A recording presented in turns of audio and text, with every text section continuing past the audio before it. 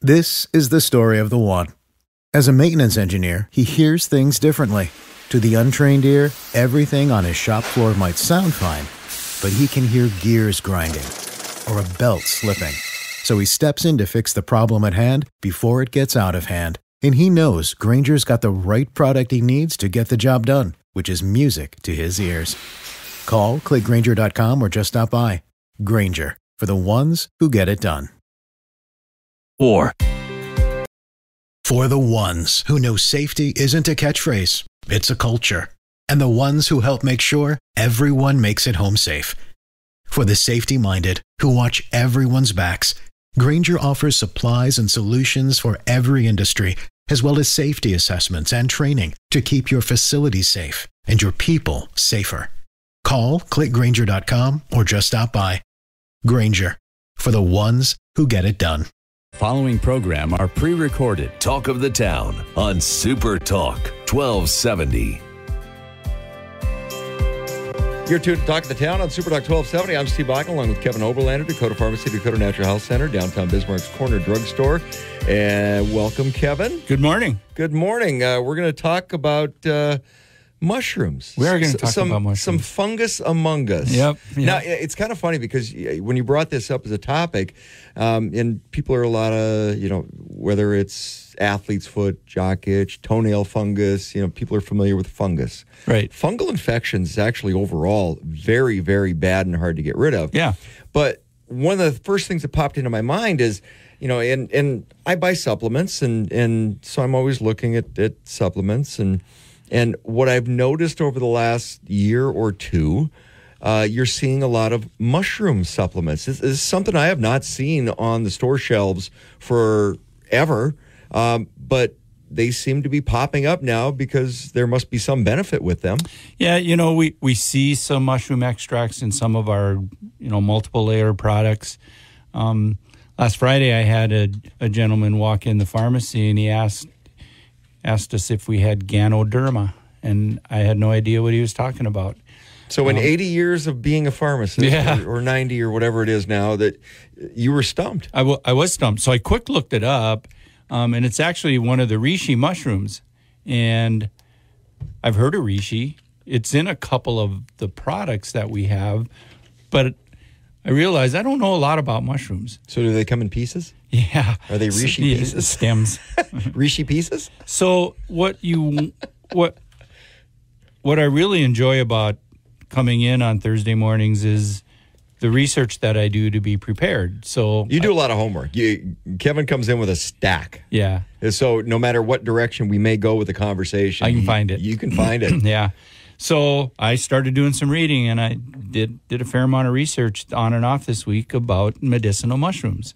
Um, and I thought, yeah, there's a subject here. So that's that's where we're going. Well, and I was familiar with them. Uh, Asian medicine, Sure. They- been around for centuries and Sure. centuries and centuries, but has kind of stayed in that space uh, with with Asian medicine. Yeah, as you as you'll hear in a minute, there's many cultures that use mushrooms in their in their medicinal world, and we'll we'll kind of go through that. Um, I find it interesting anytime there's a quote unquote food that really has a medicinal property. So Hippocrates um, said, whenever. Let food be thy medicine and medicine be thy food. And and a lot of the medicines, modern medicines we use really originate in nature. You know, they they're they're originally from say a, a plant. You know, you look at our cholesterol Well, drugs. and we've talked about this in the past. Getting back to the roots of compounding, it was really about roots. Yeah, yeah. it was a lot of. It, it was the plants in nature. It was. So looking into mushrooms and the medicinal properties and and of course as as we get modernized, we're getting, you know, very pure extracts from the mushrooms. Um, I think mushrooms are probably a good thing to have in our diet as long as you're not having problems with ingesting a fungus. Um, the first thing I thought of was what you mentioned was agent. So TCM is traditional Chinese medicine. It's kind of probably has the longest history in in the use of mushrooms. Um, it dates back thousands and thousands of years. In fact, Ganoderma is one of the most well-known medicinal mushrooms in traditional Chinese medicine. And that's what I found when I looked up Ga- Ganoderma as a reishi mushroom. it took me right to traditional Chinese medicine because it's very, very prevalent in that. But there's but there's other cultures. Ayurveda, Ayurveda medicine originated in India, and Ayurveda is the skill of putting together multiple things to get a positive outcome. So Ayurveda is the kind of the science of synergy. Things work really well together. Layered approach. Yeah, yeah. Um, so various mushrooms used in Ayurveda that that they, they possess medicinal properties. So cordyceps, cordyceps, and we're going to go through these in, in greater detail. Cordyceps is very, very um, prevalent in Ayurveda medicine. It's used as an adaptogen um, to help you adapt to stress, and we've had a conversation about unresolved stress recently. Um, Japanese and Korean traditions use medicinal Chinese medicines. The staple for them was shiitake. We see shiitake mushrooms as part of formulas that are put together by the companies that we use. Um, shiitake is good for immune function. So, in some of the immune products that we were seeing during this whole COVID time, some of them had some shiitake mushroom extract in it. And it's in there, but I didn't really do my homework until this week. So well, and it, when I was, so it was an it was an interesting. When I was skimming through stuff, it, it, so mushrooms, Native American culture, yeah, um, very prevalent. Um, also, uh, I found some stuff in Egyptian. Uh, there were some references to Egyptian medicine sure. that, that were there. I'm like, wow, that, that okay, yeah. Um, but you know, and we're not talking about the the psilocybin the no. the hallucinogenic. no, no, that the, that's not a medicinal medical. These are different. There, there's a distinct difference between the two. Well, if you look at the plant world, there are different sides to it. There, in this case, there's a medicinal side and there's a psychedelic side. Even even in, even in the cannabinoid world, hemp has cannabinoids, but it's touted to be more medicinal. Now, medical marijuana is touting to be medicinal, but it also has the hallucinogenic and intoxicating effect. The, the interesting thing that I started to read about mushrooms is the modern scientific research, because that's typically what happens is the modern research will follow some of the ancient medicinal modalities because there's out, there's positive outcomes, so they're going to research why. Why are we getting a positive outcome?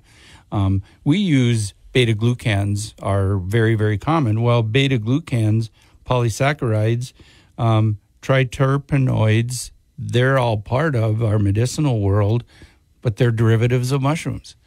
Um, I knew beta glucans were, but I didn't know about some of the others fungus among us. Yeah. And then there's some good stuff out there. Yep. Uh, we're talking about uh, mushrooms and, and fungus and the different medical sides of that with Kevin Oberlander, Dakota Pharmacy, Dakota Natural Health Center, downtown Bismarck's Corner Drugstore. This is Talk of the Town on Super Talk 1270.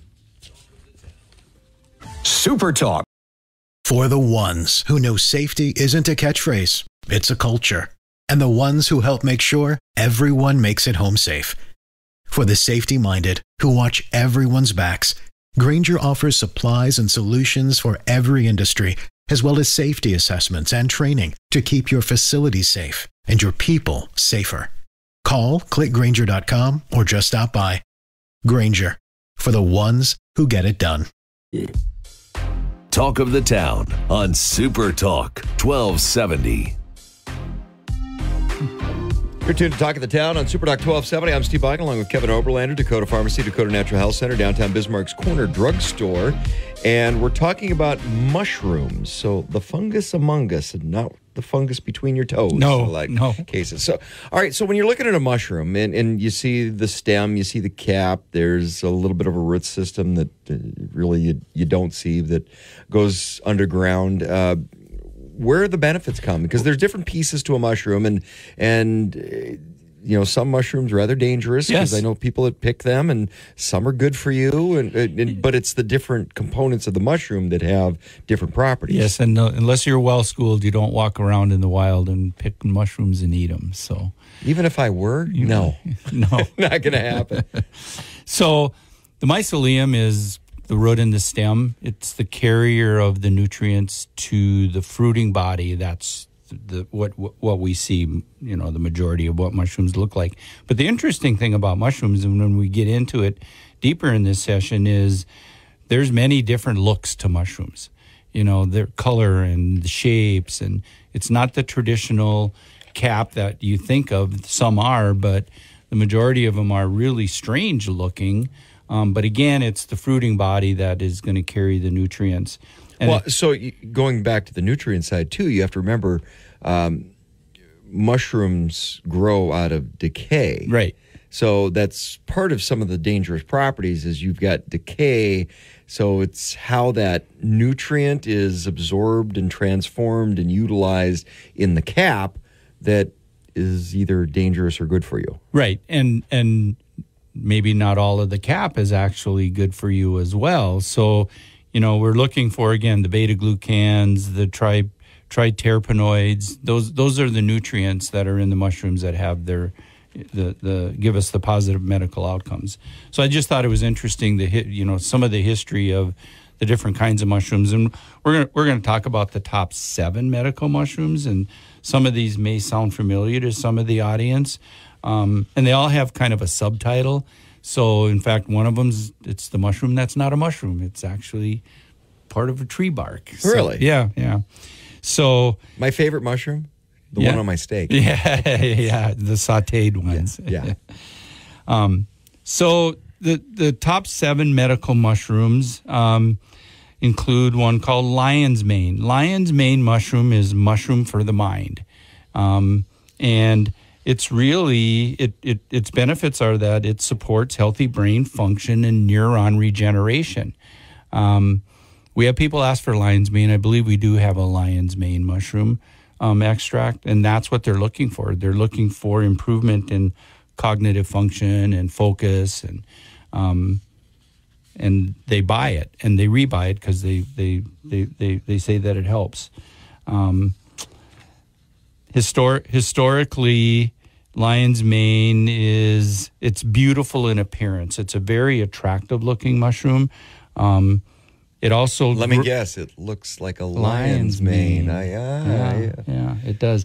But it doesn't grow out of the ground. It actually grows on trees.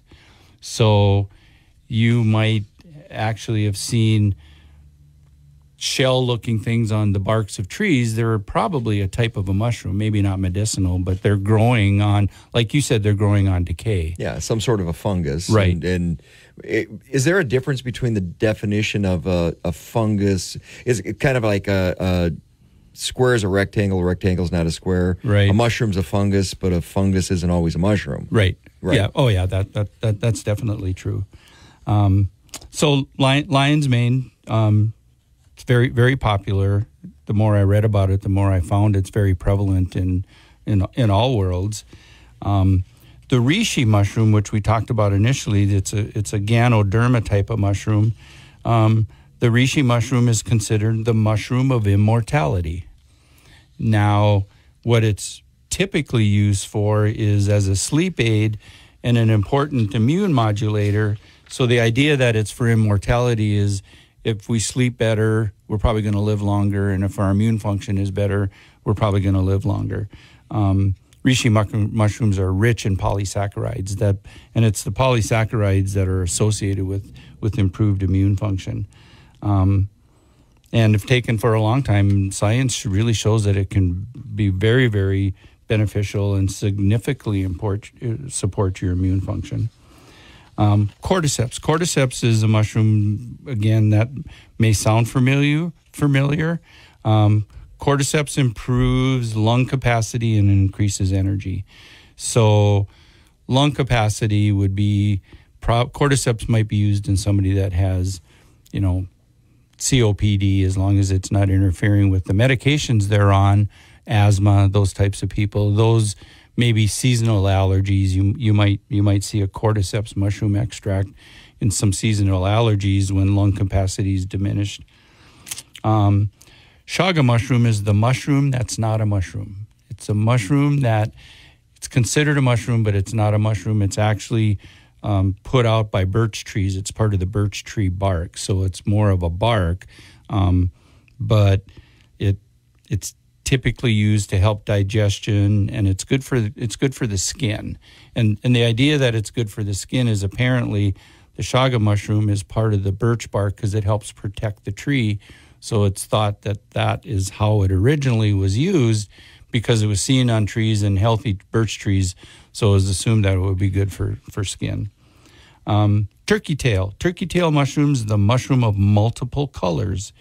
Um, and again, the primary function of turkey tail is it, it helps to boost the immune system.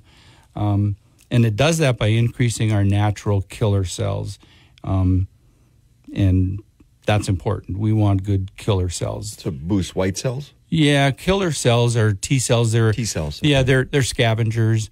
So a killer cell is so if there's an infection and your immune function is trying to target that, um, the bugs, we'll, we'll call them bugs. They send they tend to send out deflectors to to draw the attention of our killer cells away from the bad guy that our immune system's trying to treat.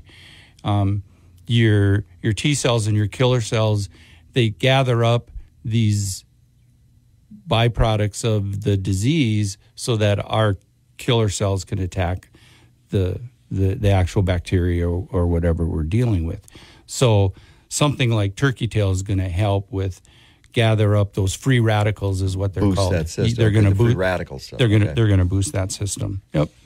Um, shiitake, shiitake is the fragrant mushroom. Um, apparently, it has a very very pleasant odor, and it's typically used to support cardiovascular health and liver health. Um, and lastly, maitake mushroom is the dancing mushroom. And I've found a video of a maitake mushroom, and it almost looks like they're in an ocean. They're like they fingers flutter? flowing. They flutter. Yep, yep. There's no cap. They're like fingers, um, but they're really, really cool looking. Um, and again, it's really more of a cardiovascular health, uh, blood pressure benefit, and again, immune support. Well, and the shiitake, you mentioned the fragrance on that. It, that's why they're widely used in cooking. Yeah. uh, because of the the fragrance that comes with uh, the shiitake mushroom. So it, it's good for presentation. It and is. good for bouquet when you're making that fine meal. Uh, we're Nice talking on like Kev- the Food Channel. Well, Yeah. I didn't have breakfast yet this morning. I'm hungry. Uh, this is Talk of the Town on Super Talk 1270. I'm Steve Bakken along with Kevin Oberlander, Dakota Pharmacy, Dakota Natural Health Center, downtown Bismarck's Corner Drugstore. We're talking about fungus and mushrooms and the health side of that. This is Talk of the Town on Super Talk 1270. Talk of the Town. This is the story of the one. As a maintenance engineer, he hears things differently. To the untrained ear, everything on his shop floor might sound fine, but he can hear gears grinding or a belt slipping. So he steps in to fix the problem at hand before it gets out of hand. And he knows Grainger's got the right product he needs to get the job done, which is music to his ears. Call, clickgrainger.com, or just stop by. Grainger, for the ones who get it done. Bakken. Weekday mornings starting at 9 on Super Talk 1270 and the free Super Talk 1270 mobile app. Welcome back to Talk of the Town on Super Talk 1270. You're tuned to Talk of the Town on Super Talk 1270. I'm Steve Bakken along with Kevin Oberlander, Dakota Pharmacy, Dakota Natural Health Center, downtown Bismarck's Corner Drugstore. And we're talking about fungus, the fungus among us. We're talking about mushrooms and the medicinal health aspect of mushrooms. So, okay, like I said, I've been seeing mushrooms and mushroom extract on store shelves for little over a year now, about Yeah. a year and a half. Is it, it's really come into its own, and we talk about absorption and things like that all the time, and the quality of uh, these different supplements. And I picked up several of these bottles, and, and some of them are, are specific, this type of mushroom or that type of mushroom. You, but usually, I'll see a mushroom extract, and it'll list a few things on there. Um, I, I'm guessing the average consumer, myself included, is not going to have any clue what amounts or quality or anything as you're sitting there looking at a bottle that says mushroom extract. I've been doing this a long time, and I didn't know anything about it. Okay, teach us. Yeah. So one of the interesting things about mushrooms is we kind of consider them a vegetable, but they're not. They're not a plant or an animal. They're a fungus. And when we get into the next session, we talk about some of the risks of mushrooms. It's it centers around the fact that not everybody should It's a fungus. it's a fungus. Not everybody should ingest them. Well, and, and I know people that, uh, you know, one of the worst medical conditions that's out there is get a fungal infection. Oh yeah. Uh, it- it- good luck. It, those are hard to get rid of. So We- you have to be very careful with fungus. We've talked about biofilms. Fungus are very, very adept at building themselves a biofilm to protect themselves. Now, the bad fungus are. Um, the good fungus in mushrooms really don't do much in the penetration of a biofilm. So you typically don't treat fungus infection with a fungus. Sometimes even a, even a quality fungus will exacerbate the condition because you're adding to the makeup of that biofilm. And when we talked about biofilm here not too long ago, we talked about the fact that the organisms inside the biofilm actually create antibiotics so they teach themselves how to protect themselves from antibiotics, which is a scary, scary world. And I don't know that we really know enough about mushrooms and their effect on biofilm, but I don't believe there's a mechanism there or they're not adding to to that mechanism because they're not able to break Well, and quite often, mold and fungus are grouped together. Yeah. And where does penicillin come from? it's mold. Mold. Yeah. So, you know, it very, you, you got to be careful. You do have to be careful. Um, and as and as far as quality, we've talked about that all the time. I'm sure I'm sure you can get bad mushroom extracts. I'm sure you can get some that have no medicinal quality. Um, we hear horror stories about it, I'm buying a reishi mushroom and they put a, a dot of it in there. The rest is nothing, but they put it on the label because it's got some reishi in there. So there's got to be dosages and amounts that are medicinally proven, which is what we look to as when we, when we're looking at drug uh, supplement manufacturers, we're, we're looking at their knowledge and and how long have they been doing it and their independent lab testing to prove that what is on the label is actually what's what's in the bottle. Um, but I thought we'd take this session and kind of do a, a reverse on because we talked about the mushrooms and what they might be used for. So let's do the reverse. Let's look at in um, a, a disease or some type of malady and what would be the mushrooms that would be best for that. Um, so, what is the best mushroom for inflammation? Um, there's three that come to mind reishi, cordyceps, and turkey tail.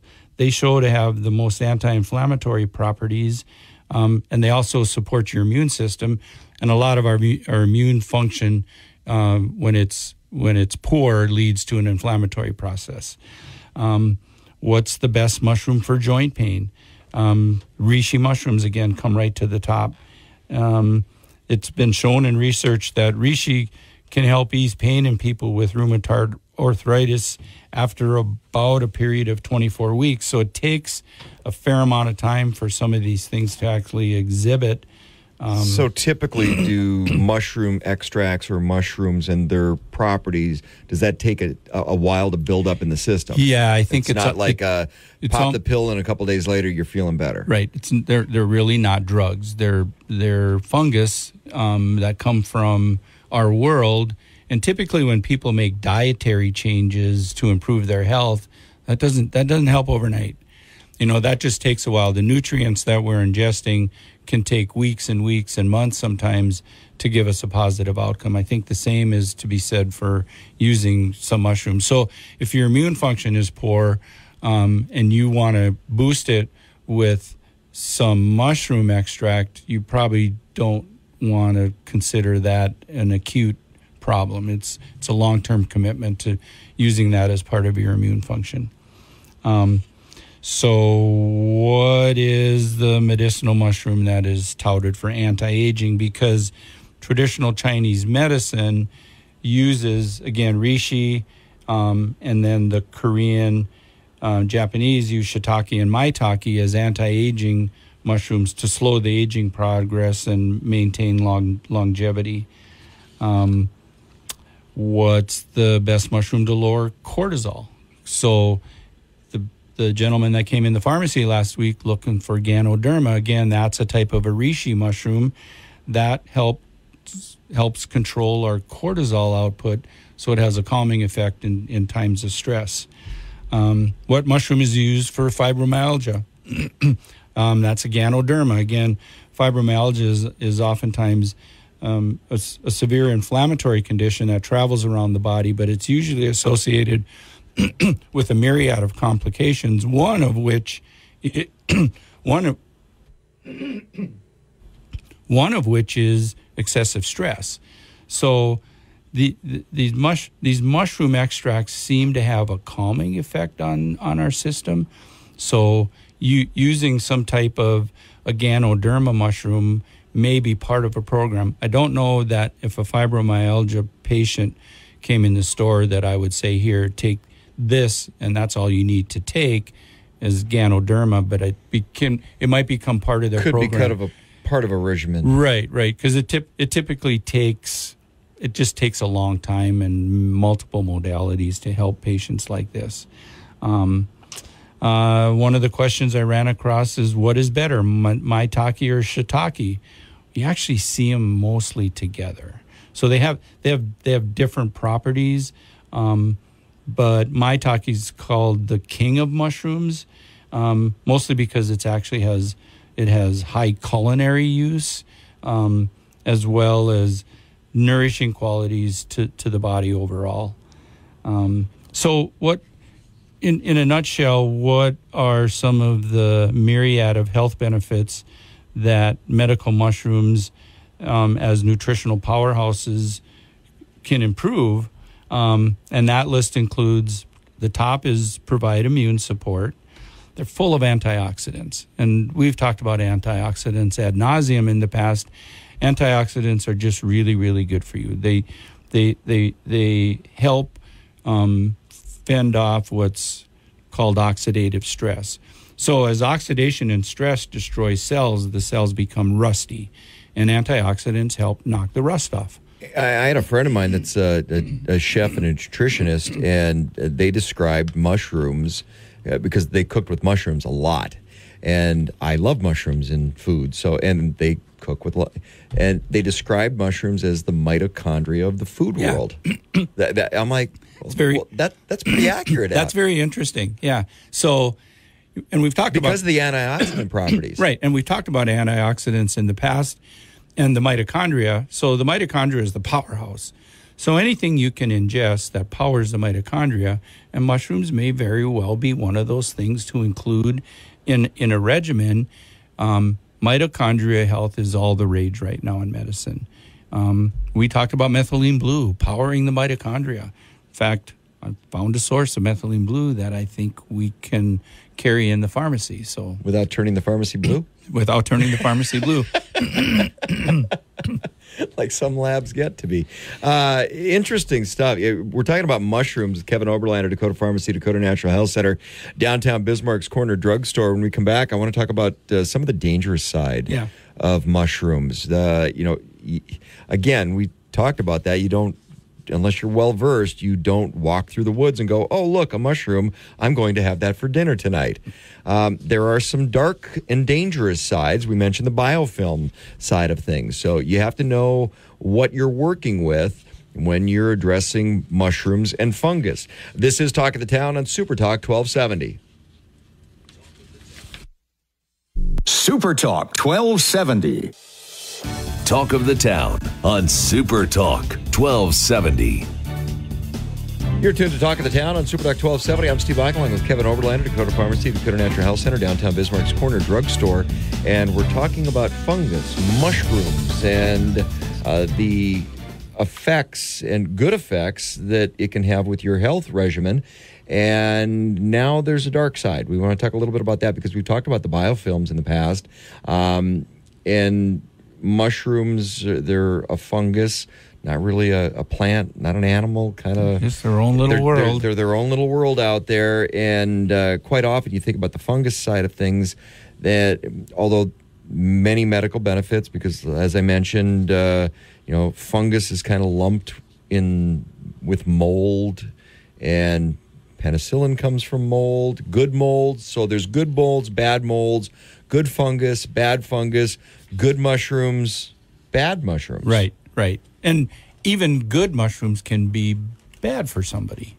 So when I when I was doing my research, I found eight specific um, risks that patients need to consider if they're gonna if they're gonna use a mushroom extract. And the number one risk is the allergic reaction that could happen because this is something that it, it grows in the environment.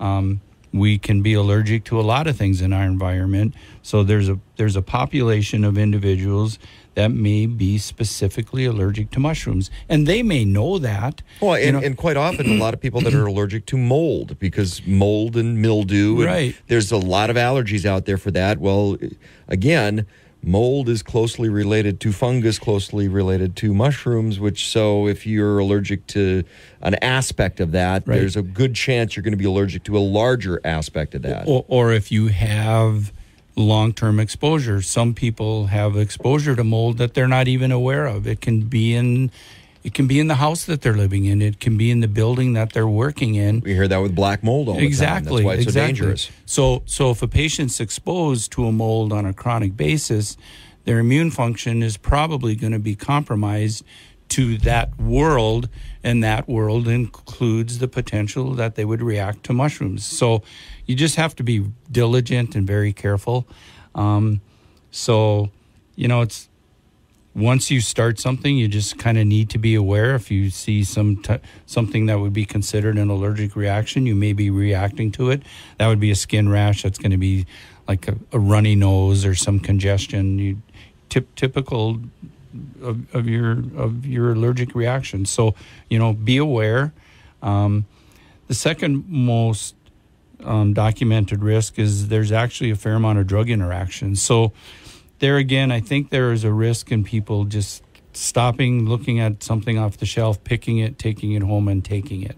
Well, Especially- but that's especially if you're not on medication. mushroom specific because people Right. you know, first everything. first thing they when you walk into your doctor's office okay what medications are you taking well that also includes supplements Yes. so if you're taking supplements those supplements will react with different medications or courses of treatment as well and, and I, I think people take that awfully lightly I think they do. You know, the the the number one type of medication that can interact with mushrooms is is blood thinners, the anticoagulants. A lot of people take them. A lot of people use them in their cardiovascular program. And they see, well, this particular kind of mushroom is good for my cardiovascular system. So I think I'm going to take that in addition to my medications. And without asking about it or asking a professional who like like our staff who can help with that. If we don't know the answer we're going to look it up. I didn't know the answer on friday so i went and looked it up. But i think it's important that if you're you know we can look at your drug history if you get your medication from us but if you don't we don't have access to that for the most part. So it the it's it, the the buyer just needs to be diligent about what they're ingesting and any risks that might be involved with that Toxicity is another issue. Um, I don't think you ever want to take an excessive amount of a mushroom extract. Um, I also don't think, like we've talked, you just don't walk out into the woods and eat a mushroom because there's some toxicity associated with that. Um, in some cases, consuming mushroom extracts um, and these concentrated extracts, the beta glucans, the polysaccharides, can cause some digestive discomfort. Um, so sometimes starting with smaller doses and working into it so your GI tract understands what you're ingesting. So, is there a danger or is there a benefit for? Because, like I said, I'll, I'll go on the shelf and I'll see mushroom extract, and then you look at the label and, and there's a bunch of different mushrooms in there, or there'll be a mushroom specific extract. Um, eh, benefits, dangers of taking that one size fits all, or something specific. I actually think there might be a benefit to it because if you look at what we talked about, there's so many of these mushrooms that really exhibit the same outcomes: immune function, um, anti-inflammatory. Um, it's good for the cardiovascular system. Um, But you need to help know- balance your blood sugar. So if you take an extract combination, you're using smaller amounts of different types of mushrooms, so you may lower the risk of the exposure because you might be fine with one mushroom and not another one. But again, you also have to be have an understanding of what medications you may be on in conjunction with those as well, just like any supplement. Yep. great resource if you want more information. Uh, talk to Kevin Sep- and your staff. 705 East Main, Bismarck's downtown corner drugstore.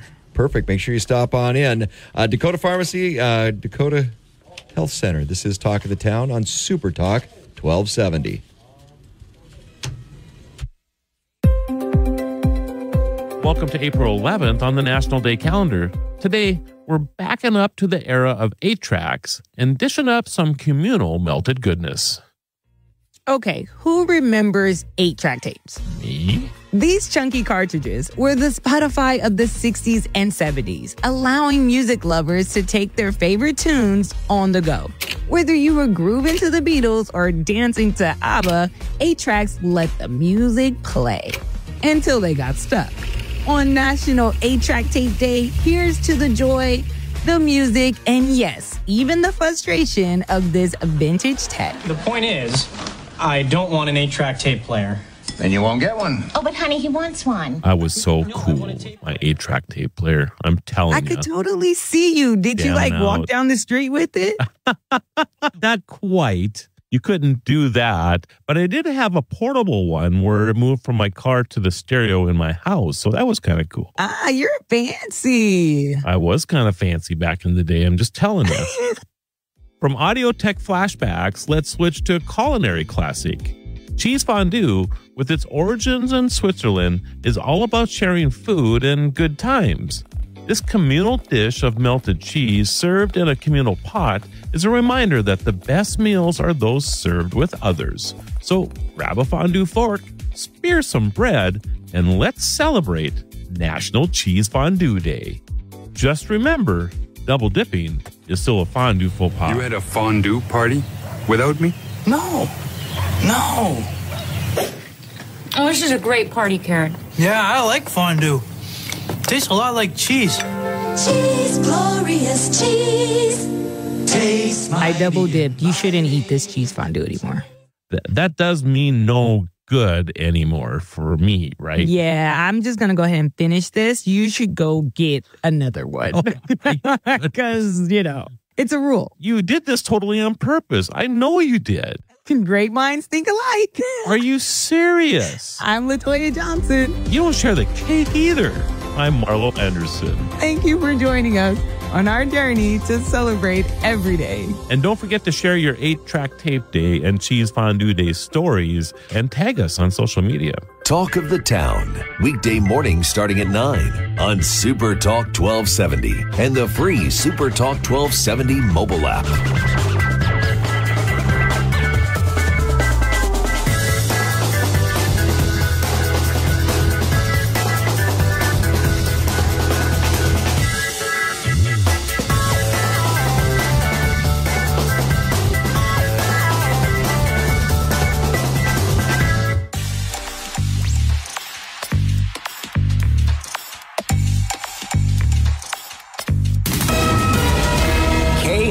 KLXX AM, Mandan, Bismarck, a town square media station, broadcasting from the View Community Credit Union Studio. This is the story of the one. As head of maintenance at a concert hall, he knows the show must always go on. That's why he works behind the scenes, ensuring every light is working, the HVAC is humming, and his facility shines. With Grainger's supplies and solutions for every challenge he faces, plus 24 7 customer support, his venue never misses a beat. Call clickgrainger.com or just stop by.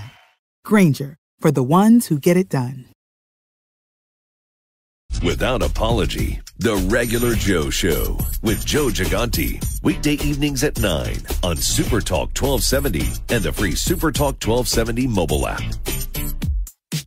Portions of the following program are pre recorded. Welcome back to Talk of the Town on Super Talk 1270. Super Talk 1270, you're tuned to Talk of the Town. Steve Bakken along with Brandon Detloff. He is the Home Ownership Division Director for the North Dakota Housing Finance Agency. Uh, Brandon, thanks for coming in. Thanks for having me. Uh, so I wanted to break down a lot of the home ownership stuff and, and where things are at right now because you know Joe and I have been talking about things all over the board and interest rates and are they coming down what the Fed's trying to do and okay that's what's going on in the market how do we combat some of that? And one of the hidden gems we've got in North Dakota is the North Dakota Housing Finance Agency. That is the pathway for home ownership for a lot of people. Um, give us a little background. Uh, North Dakota Housing Finance Agency. Um, it it it has a unique role in North Dakota when it comes to home ownership. It does, yeah. And we've been around. Uh, this is actually our 41st year. Um, we've been around, so you know, like you said, we're kind of a hidden gem We're we're known about in many circles, but we're more known mainly probably with the real estate community, uh, the agents, and the lenders in the community. You know, we don't originate loans directly, but we work with uh, originating lenders throughout the state that originate loans on our behalf. Um, most program everybody knows about is our first home, uh, first time home buyer program, um, geared toward first time home buyers. Again, our our big thing is trying to combat that affordability issue. Um, with some of the ways we fund our loans, we're able to keep our, our interest rates fairly low. Um, we can talk about that a little bit. I mean, you know, you're hearing in the news with interest rates continuing to climb, and they're you know now just over seven percent. Um, our lowest rate currently today is five and a half percent.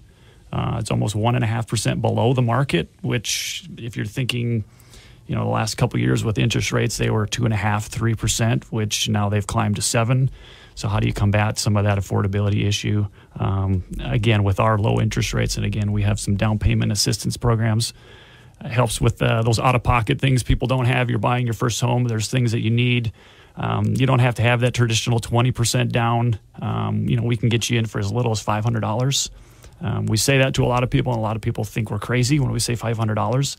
Um, I've actually talked to a couple lenders this year, some in the western part of the state, um, and some right here in Bismarck. They've had, I think, three or four buyers have actually got into a house for $500. They wow. bought a house which is amazing in this market that we're in currently, but they're still doing it. Gives you a lot of opportunity to offset uh, what that number looks like for a house payment when you're looking at that seven, seven and a half percent interest rate, especially when you get that little bit lower rate. Uh, uh, a lot of different programs out there, and you mentioned the first time homebuyers program, um, which is a little it, it's kind of a misnomer because mm-hmm. people think first time home buyer. Okay, great. I bought my first house with North Dakota Housing Finance Agency, and that first time home buyers.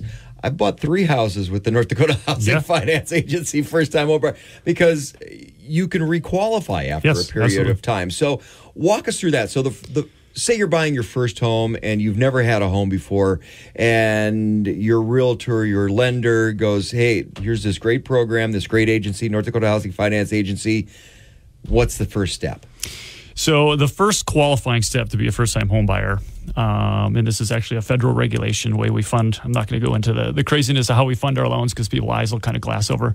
But it's basically you can't have owned a home as your principal residence in the last three years so again, like you said, if you haven't, if you use our program, you sold it, you weren't living there as your principal resident the last three years, you qualify again. So people can use it multiple times.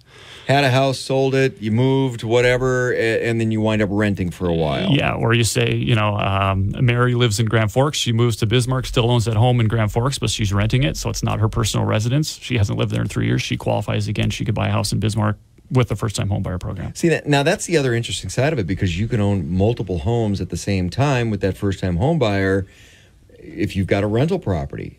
So uh, we're going to get into that one too, but uh, finish up on the on the somebody. Okay, I'm buying my first house. I go to the North Dakota Housing Finance Agency. Um, what are the steps? I, so the qualification process. Yeah. So first of all, how, how did they get a hold of you? Basically, what they're going to do is they're going to find a lender they want to work with that is one of our participating lenders. So we've got about sixty we work with throughout the, throughout North Dakota. Obviously, a lot of them have multiple locations, um, but pretty much every lender in the state uses our program. Um, so that's where you're going to start to see if you qualify. They understand all our qualifications, our you know our parameters, income, acquisition limits, all that kind of good stuff. Um, if you qualify for that, basically what they're going to do is make sure you fit in the right program. We always tell lenders, try it through our program. If it works, great. If they don't qualify and there's another program that works better for them, that's great. Um, but that's the best place to start because we don't originate the loans. They're basically doing it on our behalf. And then once they close that loan, they then sell it to the agency. And then a big, huge point for local borrowers is we service all those loans locally. So we do not sell that anywhere. If they have questions, they call us right here from our Bismarck office. We've got 10 staff members who can answer their questions anytime from 8 to 5. Um, another good thing I love to say is we don't have a, when you call in, you're going to get a human on the line. It's not a press one, two for this.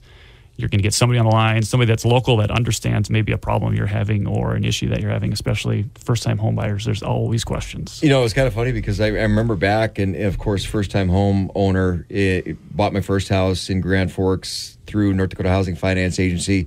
Had a lot of questions and speed dial North Dakota Housing Finance Agency, and somebody always answered. And, and now, ironically, uh, Jolene, who used to be the director, is my neighbor across the fence behind me. but but uh, you talk about North Dakota agency and, and North Dakota roots, and and getting a, somebody who is in the same state that knows everything about what you're going through as a first time home buyer in North Dakota you don't get that kind of service anywhere. No. You, you know, and a biggie is to um, when we have insurance claims, hailstorms. You know, we've had a couple this year. You get a check from your insurance company, and it has your your mortgage company's name on it. Well, what do you do with it?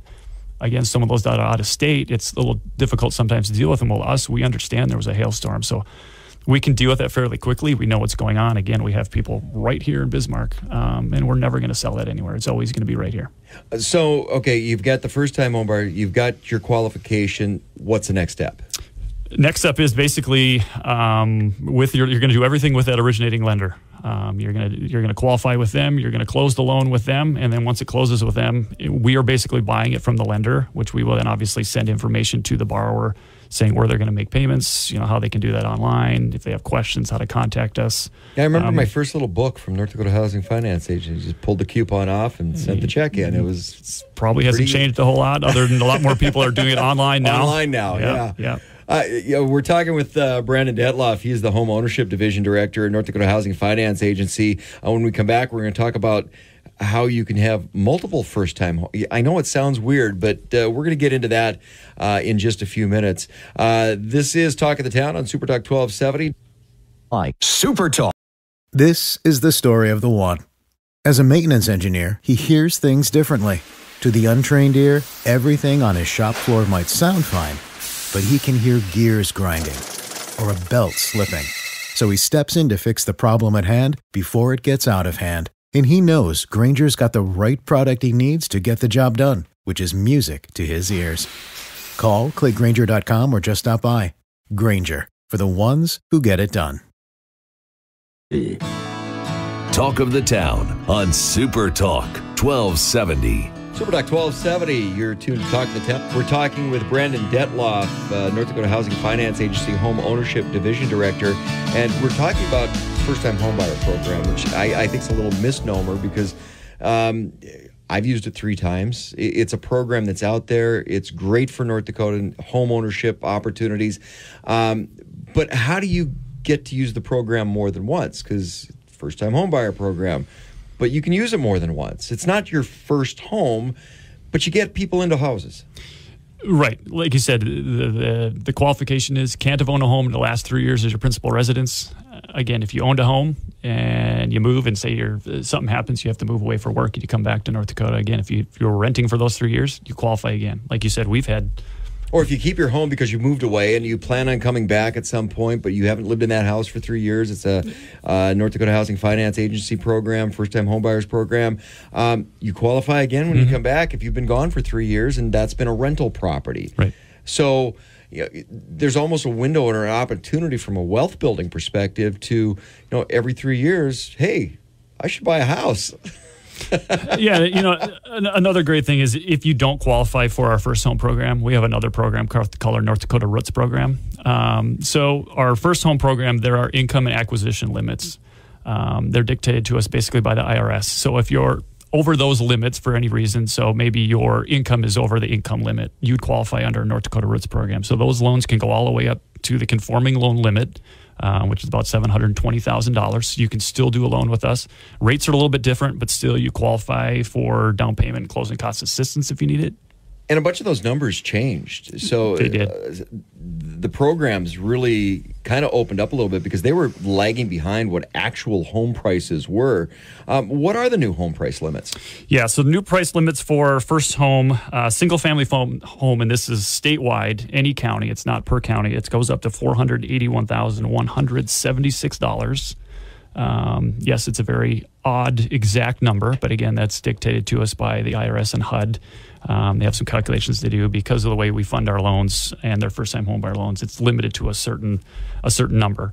Um, so that amount actually jumped about, I think, about 28% over last year. It's probably the biggest jump we've ever seen, which is a great thing. It means there's more homes that qualify. Um, then you also do have to have an income limit, and that is based in per county in the state. So there are different counties. Obviously, your bigger metro areas have a little higher limit. Just give an idea, like uh, Burleigh Morton, uh, family that goes by less than three or three or more. Again, these are some fun IRS things. Um, One hundred eight thousand six hundred for a family of three or less income. If you're over three or more, it goes up to about one hundred twenty-four eight hundred. So if you're under those limits, you qualify under first home. If you're over, you'd obviously anybody qualifies for Roots. There are no income acquisition limits, only up to that conforming loan limit. So if you make eight million dollars and you want to use our Roots program, you can sure do that. Well, tell us a little bit more about the Roots program because that, that that's something to attract North Dakotans back to North Dakota and keep people in North Dakota. Yeah, that's originally what it was meant to be. So somebody that was moving back could use this program, and then we decided to open it up for anybody. Um, basically, what the program was meant to do is those first-time homebuyers. Eventually, you're going to need to move up.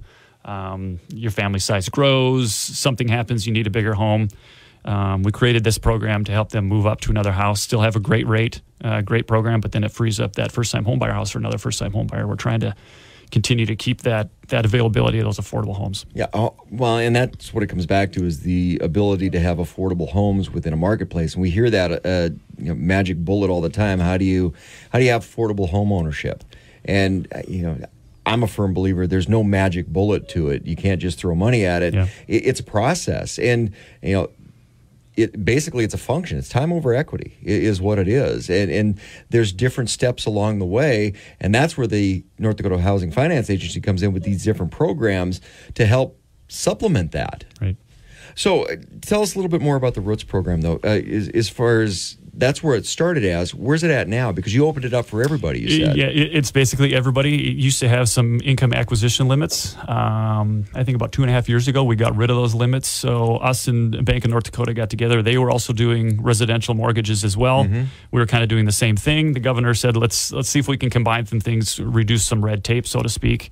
Um, you know, we kind of had been doing it longer. Bank of North Dakota was looking to kind of get out of the market, so we kind of took over that space for Bank of North Dakota they were working with a lot of rural lenders because it's it's hard to finance a lot of those rural home homes. Um, so we got rid of our income acquisition limits for our Roots program. So it doesn't matter what your income is. Acquisition limit, basically, the, the only caveat is you just can't go over the conforming loan limit. So which is about seven hundred twenty thousand. So we've seen a few homes, you know, Bismarck Fargo that are you know a million, million and a half. They do the seven twenty with us, and then they're doing a second loan with uh, the originating lender for the difference. so there's a lot of different flexibility within that program, and, and you know, one of the things with the North Dakota Housing Finance Agency is the agency exists entirely to figure out a pathway for home ownership in North Dakota. So it's kind of interesting because I don't, I'm not quite sure if I want to qualify you as a government agency because, again, you're in the business to eliminate the red tape. And that's not usually what government does. Exactly. Yeah. I mean, I guess you could call us maybe a quasi state. I don't, Yeah, I mean- it's hard to say because we are technically self funded. We don't take any. You're solutions based, though. Yeah. You're like, we'll find a way. And, um, you know, talk about rural side of things a little bit because there's so many different opportunities out there with USDA loans and Yes. different things. But we are a rural state. So, um, taking the, the urban side away, um, there's some different nuances across when you're talking about the rural side of things for home ownership. Yeah, a big one we hear, especially farmers. Um, you talk about those conforming loans. So a lot of lenders, you know, they'll when they take on a loan, they're probably going to they have an investor that's probably going to purchase that loan. Usually, some of the GSEs, Fannie, Fannie Mae, Freddie Mac, you've heard of. Um, one thing we found of that's interesting with farmers is when they try to package those into to, to Fannie or Freddie, um, they don't understand when farmers only earn income for seven months out of the year Right. to us that's normal because it's winter you can't farm in the winter last time i checked um, you can't farm snow which would be fun if you could make some money off it Well, right last year they would have made a lot of they money. They would have made a lot yeah. of money so those are loans that we'll take every day Um, you know, we just check them to make sure that the income is there, and but we understand it's seven months out of the year. That's not a problem. Another problem we see is with appraisals. They need comparable properties. Well, if you're on a farm, your most comparable property might be 100 miles away. Well, somebody looking at from Florida doesn't understand Yeah. that the next comparable is 100 miles away. Comps are different, Us, yeah. that's normal. Being in a rural, you know, rural area, we get that. And again, we'll take those every day. Well, you know, just on the ag side of things too, and we're talking about the farmers, but there's so many people that work in the ag industry Mm-hmm. that is seasonal. I, I grew up in the Red River Valley, and I think about people that work at the uh, Crystal Sugar, the sugar beet factories. Those are seasonal jobs. Again, same scenario. When you're looking at the incomes, it's like, well, where's the other five months or four months? It it doesn't exist. Right. So having that understanding of our agrarian and rural economy here in North Dakota, a big benefit for people who are looking at buying homes in North Dakota. We're talking with Brandon Detloff, uh, North Dakota Housing Finance Agency Home Ownership Division Director. When we come back, I want to talk about some of the other programs. Uh, home access, that's a big one. Uh, this is Talk of the Town on Super Talk 1270. This is the story of the one. As a maintenance engineer, he hears things differently. To the untrained ear, everything on his shop floor might sound fine, but he can hear gears grinding or a belt slipping. So he steps in to fix the problem at hand before it gets out of hand. And he knows Grainger's got the right product he needs to get the job done, which is music to his ears. Call, clickgrainger.com, or just stop by. Granger, for the ones who get it done. To Talk of the Town on Super Talk 1270. Super Talk 1270, you're tuned to Talk of the Town. Steve Bakken. We're talking with Brandon Detloff. He is the North Dakota Housing Finance Agency Home Ownership Division Director. And uh, we're talking about some of the different programs uh, with home ownership here in North Dakota that the North Dakota Housing Finance Agency has. Um, one of them's Home Access Program, um, which is one I'm not that familiar with. You know, the Roots I was familiar with, the first time home buyer. Um, multiple times but but uh, fill us in on the home access side Yeah, Home Access is a is a great program, and like a lot of our programs, I think you know a lot of the public's not familiar with them because it's kind of uh, until they talk with an originating lender, they don't know about them. Um, Home Access is a great program. So if you fall into four different categories, so if you're a single parent, if you're permanently disabled, if you're 65 and over, if you're a veteran, you qualify for home under Home Access. Now, people are asking, well, what does that do for me? So you still have to meet program parameters as far as income acquisition limit, but you don't have to meet that home first time home buyer requirement. So if you're a single parent and say you say you just got divorced, you sold your home today, tomorrow you qualify under home access because you're a single parent. And that's the, the main driver we see of this program is single parents. Um, I tell the story all the time, and probably if somebody's listening, they're going to say, "Oh, he's telling that story again." We got a letter from um, a single mother. She had two kids. Wrote us a letter saying that because of this home access program, her kids now have uh, another roof over their head, where she doesn't have to take them to the park. She can make dinner, stare out the back window, and watch them play in the backyard. And we have a little note on there from from one of her. I think it was her son. Said we can finally get a dog. Aw. So they, you know, but again, single parent. Again, this is it, it's helping people get into homes that maybe wouldn't have had a chance to before. Opportunity. It's, Opportunity. it's, it's about the opportunity. Uh, th- that is, you, you could tell that story over and over and over again. That is a great story, but that's the connectivity. See, I still, I, I, you're not a government agency. you got a heart. I, it's, I, I, I'm serious. I, you know, getting rid of red tape, getting rid of, uh, you know, as a government agency, sort of pseudo quasi. Um, but there's a lot of other things that people don't know about because I think one of the things with the North Dakota Housing Finance Agency that people don't understand is okay, there's a, and I'll say there's a good segment of people that just assume that they're not in a position to own a home. Um, so they're going to be a renter. And you're not going to find out about a lot of the programs that the North Dakota Housing Finance Agency has until you go to buy a house. Well, if your mindset is I I'll, I can't qualify, I'm not going to qualify, then you won't know about the programs mm-hmm. because you rely a lot on the lenders, the mortgage lenders, and the realtors. Eh, but if somebody's not talking to them because they're not thinking that they can go down that path, that's where there's there's a little bit of a disconnect. But it's beyond that because you guys have so many other programs that you need to share that good message with, uh, whether it's on the rental side. You know, it's about building that. You know, I talked a little bit about, um, you know, I, I look at as first time home buyer and, and it, it's a function, it's a mathematical equation. There's a lot of steps along the way that you build that equity over time, and that can be through renting and through uh, manufactured housing and stepping up to that first time uh, that you're putting some sweat equity into that first house that needs a little bit of work. It's a pathway. Um, one of the things that I look at the North Dakota Housing Finance Agency does is you've got different programs to help people along every step of that path quite often. Tell us about some of the other programs that people may not be familiar with. Yeah, most people obviously know us as doing the the home financing, but we're we kind of t- think of ourselves as the state's housing housing experts. Um, we dabble in a little bit of everything. So you know, other things we deal with is housing development, multifamily development. Um, so there's different financing for um, rehabilitating old rental units or converting them into low income rental units. Um, some things you might be familiar with here in Bismarck is Edwinton Place down Mhm. on Expressway and, and so. 12th. So it's for homeless to get back on their feet. It's kind of a placement facility. They've got services there if they've got addiction problems or whatever. Unbelievable facility. Um, we had we had some work doing with that along with um, the Burleigh County Housing Authority. Um, another one is Patterson Place downtown. They just did a big renovation. We had some of our projects working on that, and then we also do help with rental assistance. So we administer the Section Eight HUD rental assistance program on behalf of the state. And then just, I think it was a year and a half ago, we took on the uh, Continuums of Care homelessness program. So from soup to nuts, we kind of everything in between. Um, you know, the old saying, uh, a home for everyone and everyone in a home. That's what we strive for every day. That's what we work for every day.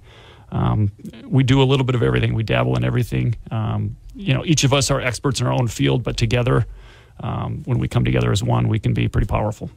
you know that's a message that needs to get out there because it's about putting roofs over people's heads. And there's a lot of ways to help do that. North dakota housing finance agency a lot of people are familiar with the first time homebuyers, but there's so much more that goes along with that.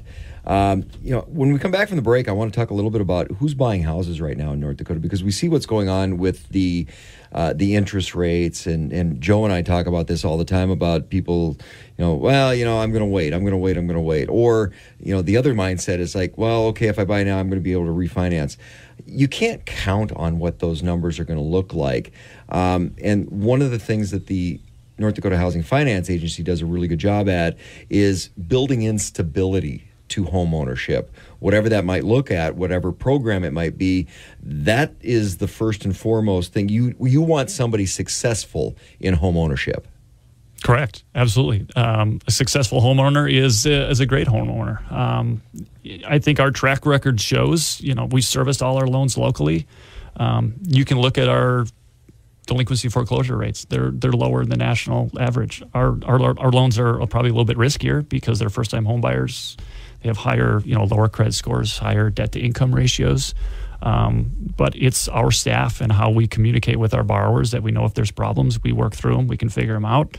Um, we're not here to, to beat up on people. We want you to stay in the home. We want you to be successful, and we're going to do everything we can to keep you in it. Well, and that's my point. I, I want you to highlight that a little bit because you you talk about those riskier loans, which um, you put people into a position quite often that they, from a traditional lender, they may not qualify. You, you help in that mm-hmm. space, uh, so that is tending to be a little bit more riskier loan. But like you said, your delinquency rates are lower than the national average. So you're doing something right. Yes.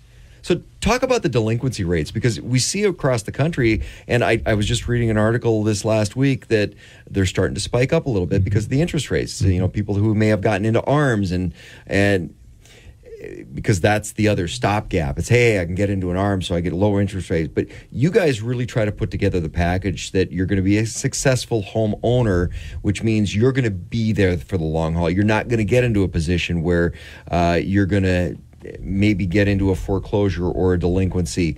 Um, talk about that for a little bit because that's important. Yeah, I mean, you look at our. I'll just go into our foreclosure uh, rate. I mean, it's it's like splitting hairs. So our for, our, our foreclosure right now is a half of one percent, which is absolutely ridiculous. Phenomenal. It's ridiculous. uh, again, some of that has to do with where we live. Uh, you know, we're we're fairly conservative states. Everybody likes to pay their bills. I always like to go back to. I don't like talking about the pandemic, but when that happened in March of 2020 and everything came out with people can go on forbearances, um, and a lot of people were. We didn't know what was going to happen. You know, a lot of our loans we service are FHA loans, so you know different regulations come out from the federal government of what we can do with FHA loans the forbearances came out. We didn't know what was going to happen in in two weeks, three weeks, a month. Everything was changing every week. So we told our borrowers, if you can make your payment, make it because we don't know what options are going to be available if you go on forbearance. There was a huge spike nationwide of delinquencies because mm-hmm. if you're on forbearance, they're considered delinquency.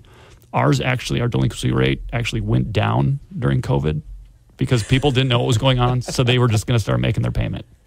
Wow. Which I think is is unbelievable. But yes, you're correct. We have started seeing um, nationwide, a tick up in foreclosure and delinquency rates. Uh, ours hasn't. We're actually lower now than we were pre COVID.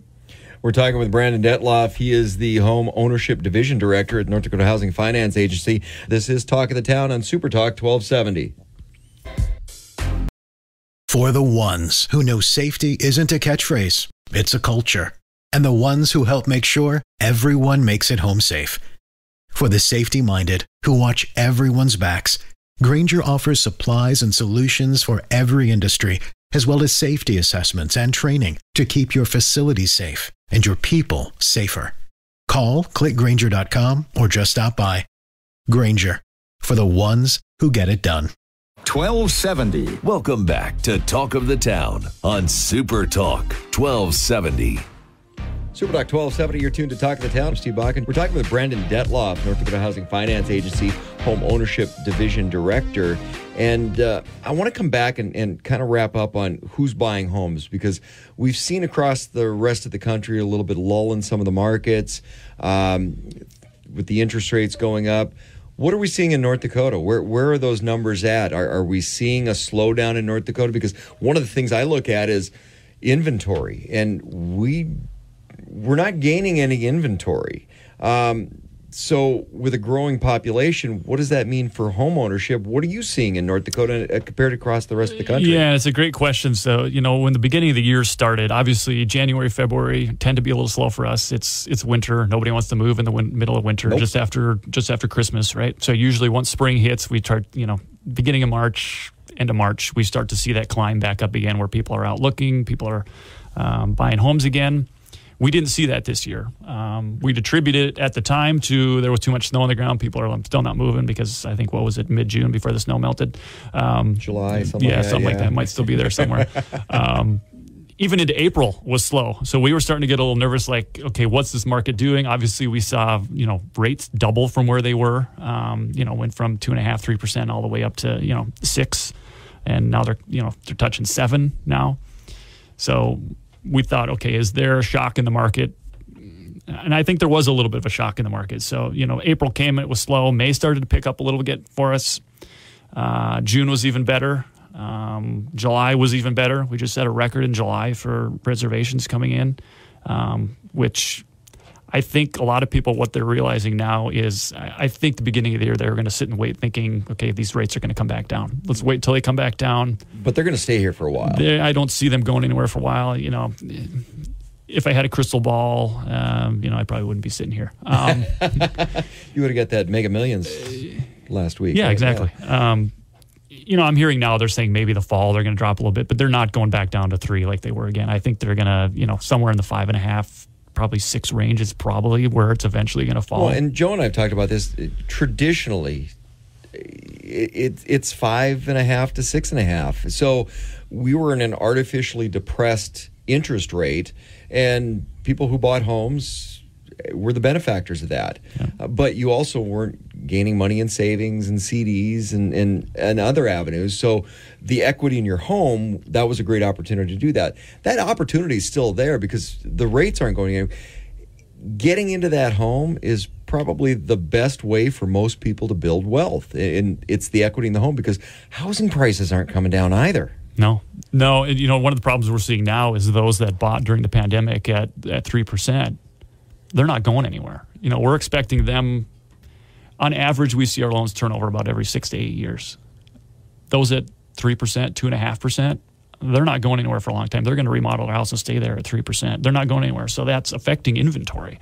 They're refusing to move, which I don't blame them at the low interest rate, how affordable their payment is. So that's affecting, it's not as much inventory coming on the market. So that's, that's going to be a few years until you know how long is that going to take to work its work its way through the system. It's going to take a while. Well, then through COVID and the backside of COVID, you saw supply chain issues. So lumber prices went through the roof. It, if you could get lumber or siding or fixtures and things like that, which really caused a little uh, another lag in the housing market. So um, you know, builders couldn't keep up with what they were previously building. The price went up on materials um, that all played into it as well. So now you've got a bunch of people that are sitting on, you know what, I kind of like this interest rate. Mm-hmm.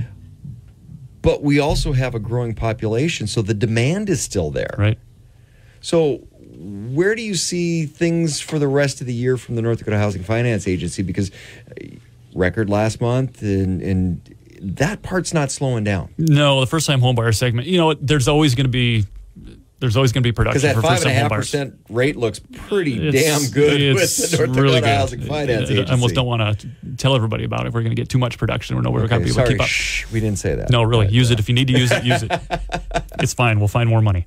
Um, but yeah, that's you know that's really our the thing we try to do is keep that interest rate as low as possible. Um, we don't like I said, I don't want to go into weeds too much, but we really were limited on the amount of income we can make because of the first time homebuyer. There's some there's some rules there. So if we make too much money, we have to send the IRS a check. So we keep these as low as possible because we don't want to make money and send it to IRS. We'd rather have the borrowers have the benefit of a lower payment. Um, but that's really where they need help right now with that lower payment. You know, from a three to a seven percent, what did that do to somebody's payment? Yeah. So from seven to five and a half, that can be the make or break yeah. or somebody getting into a home or not. Two, three hundred bucks a month, it's, easy. It's, it's huge. Um, so, again, if, if like I said, and I can't stress this enough, if you've thought that maybe you're not a candidate for home ownership, that's what the North Dakota Housing Finance Agency is there for. And so, a lot of people that maybe don't think about uh, being a candidate for home ownership who won't talk to a realtor, won't talk to a mortgage lender because they don't think they qualify how do they reach out to you guys and find out what's out there to go, hey, maybe this is an option? Yeah, best place to start is visit our website, www.ndhfa.org, so abbreviation for North Dakota Housing Finance Agency. Um, you can click on that. It says a link that says ready to ready to buy a home. Um, basically, it's a step by step what you need to do. Shows our originating uh, participating lenders. Shows a a group of them by city. You can pick one. Obviously, you can talk to multiple. If you you know if you don't like the first one you talk to, go to another one tells you how to find real estate agents that we work with that are approved to use our programs, that are knowledgeable about our programs. Also, homebuyer education is huge. If you're a first time home buyer, best thing you can do is gain as much knowledge you can about the like process. I said, speed dial. I was on the phone a lot, and you know what? At the time, the director picked up sometimes yeah. and answered the phone. I'm like, wow, this is kind of cool. Yeah, yeah. We don't, you know, we don't have uh, 80 to 100 people. We're a pretty small shop, and uh, we like to say we're all knowledgeable enough to be dangerous. But yeah, I I get calls all the time. Um, that's what we're here for. We're here to help. But visit our website. There's some great programs on there.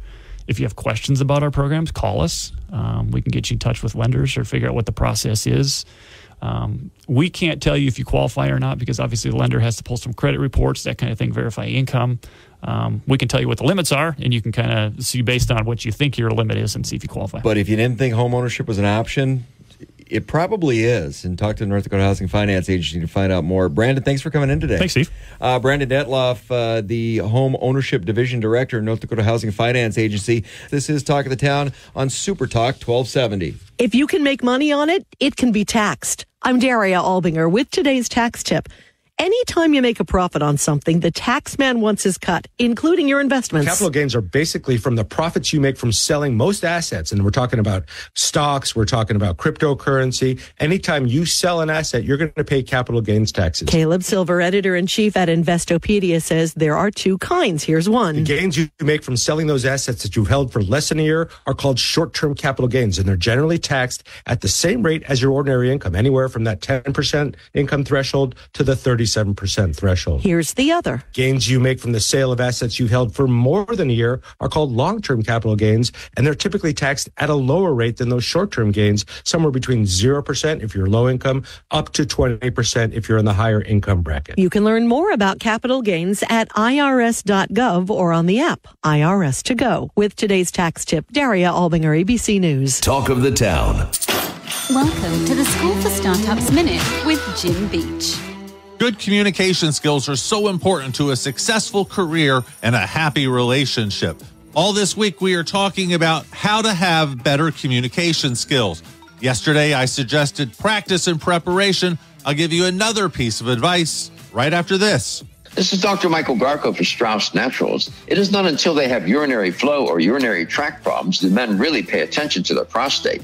Rather than wait for problems to occur, I recommend Strauss Naturals Prostate Support Drops. The Prostate Support Drops is a blend of naturally sourced herbs to support a healthy prostate, urinary system, and urinary flow. All Strauss Natural products are backed by 100% satisfaction guarantee. Visit StraussNatural.com to learn more and order the Prostate Support Drops today. There is an instructive Dale Carnegie story about a time he met a famous New York industrialist. They had a long conversation, and afterwards, the industrialist said that Dale Carnegie was the best conversationalist in the whole world. Dale was asked about this, and he said, Yes. During the conversation, I asked him several questions, and he talked the rest of the time. To engage in successful conversations, you need to start off practicing active listening. Stop thinking about what you are going to say next and just listen.